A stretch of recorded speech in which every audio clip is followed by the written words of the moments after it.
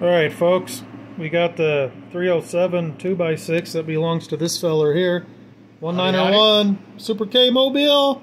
Hi, guys.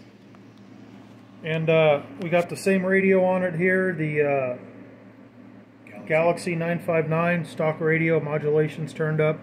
I know for a fact when I have the mic gain there, it's 100% clean modulation.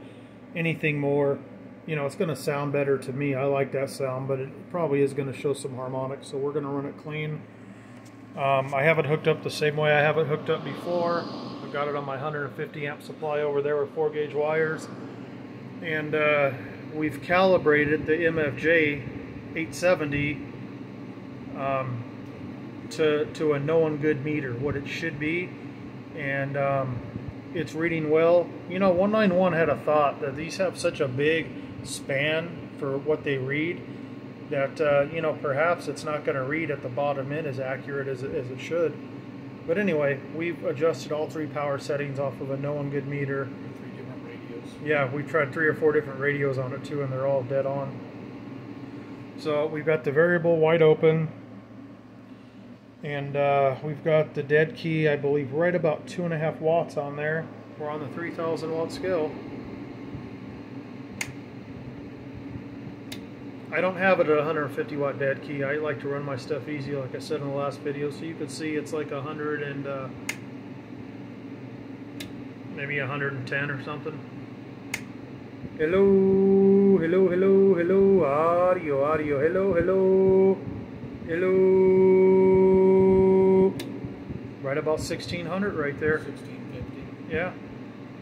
Uh, when Jim ran this on his bench, he was seeing about 1650. He wasn't driving it hard. I believe he was running a very. Oh, no, he ran the comp 10. Oh, that's right. He had he had a comp 10. At 30, okay, At 35 watts. 35. And that's about what this one's doing.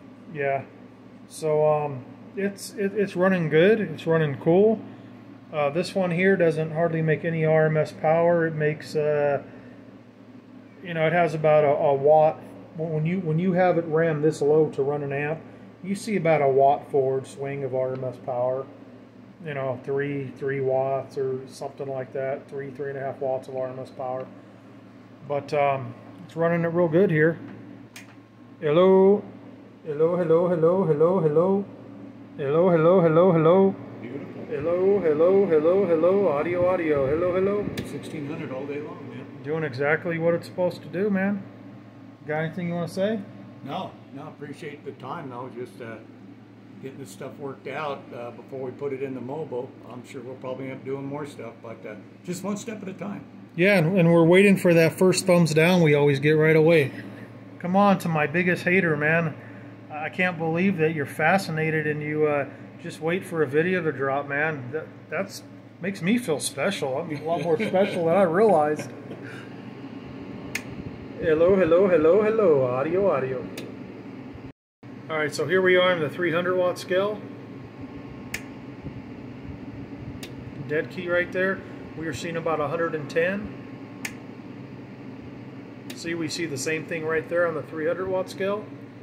And um, every everything's working good. This is going in 191's truck. I think we got this dialed in pretty good. Um, you know, we were talking and for the money, for the 100 or depending on where you get this, 100 to 100 and I guess $30, depending on where you get it.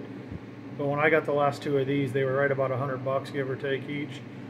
Um, they're not bad meters at all. They're, they're, everything on them is really accurate except for the, the PEP power. And um, you can open it up, and there's there's one, two, three, four, five. I believe there's seven adjustments. Was there seven or eight? Eight. Okay, eight adjustments. Um, it's not it's not all the ones lined up in a row you want. It's the three that are off to themselves. Those are the ones that are just your uh, 30, 300, and 3000. And to my surprise, um, when you adjust one, it doesn't affect the other scales, which is, you know, I've found in the past some of them do.